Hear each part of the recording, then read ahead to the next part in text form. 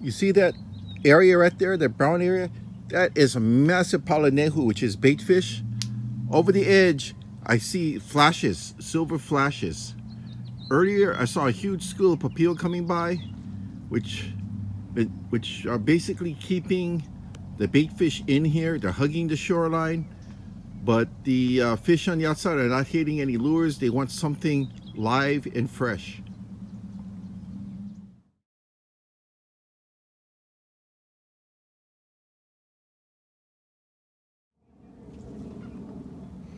Man, look at all the bait fish along the shoreline.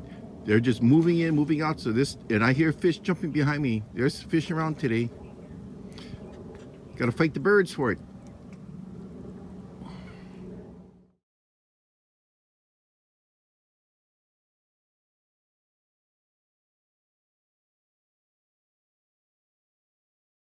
Okay, I'm going to be using something I haven't used in a while.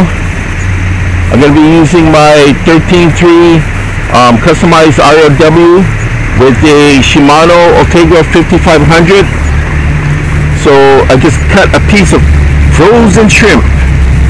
All right so we're gonna what we're gonna do is I'm gonna use um, two sections meaning the, the scale sections above the head. And the reason I keep the head on because that meat there will block in the guts from spilling out from the head. So I'm gonna put the uh, hook to it. It's a little bit stiff because it is frozen and it's an offset hook so it's not going to be a clean um, adhesion to the hook. And we're going to top this off with some um, thread. Some Miracle Mike's thread.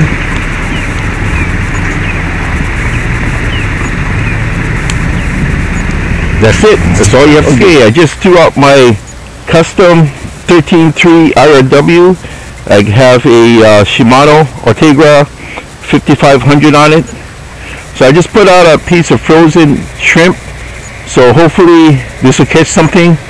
I'm to go relax on my chair right now, but I got a bell over here that will tell me if I have a strike or not. So, and let's see what happens. Alright guys, today I'm going to be using my whipping rig, which is known as a spinning rig for the CHL grubs. So this here is an Okuma T40X. It's a great, great rod. It's, it's um, called Float Drift. See, I have a Shimano Stradic 3000 on it. Float Drift T-40X. It is 10 feet, 9 inches long is rated for 8 to 17 pounds and 3 eighths to 1.5 ounces lure weight. Okay. Has one, two. Okay, there's a break there for the two piecer because they're even. Three, four, five, six, seven, eight, nine, pretty good, nine guides plus the tip. All right, using a half ounce lead egg with a Coast Lock snap. Not bad. It's 10 pound braid main line to 20 pound STS fluorocarbon. Works pretty good. My God, so much big fish just giving short casts. A big cast would have been better today instead of a spinner. But there's a lot of, I can see papio and barracudas around today. Look at that, look at that, look at that, look at that.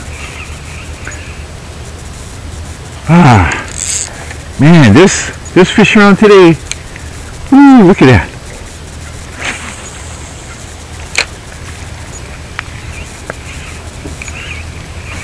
Look at that, look at that.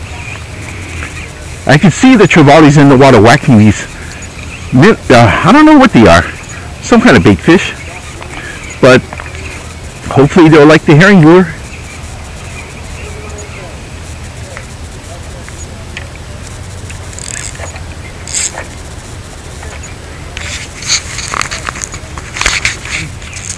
Got one. Got a hit. Not a big fish, but it's fighting pretty good. Okay, start stepping back. I was on this flat slab here as my platform. Got to track back to the mud. Yeah, he's not putting much of a struggle. Might be a barracuda or a small trevally.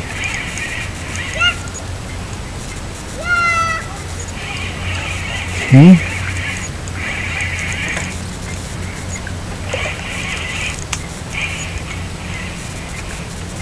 Color looks like a papio now, which is a small trevally.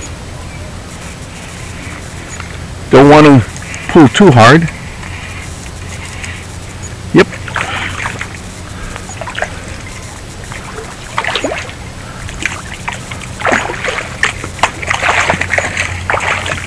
Here he comes. Here he comes.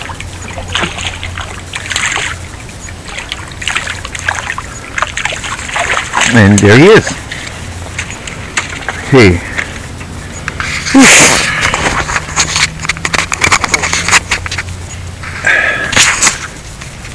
Not bad.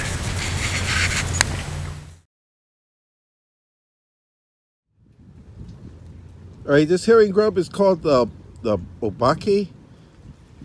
What happens? It took a huge hit. Something grabbed it in the middle, tore almost to it, almost lost the lure.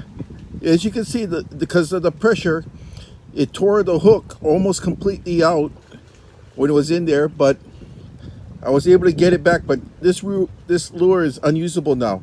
As you can see, whatever it was, just grabbed the back end. It didn't grab the head.